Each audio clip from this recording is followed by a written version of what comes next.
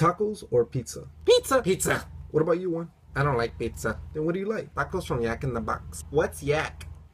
Jack. It's the same thing, puto. Pinche güero. I bet she likes chicken. That's racist.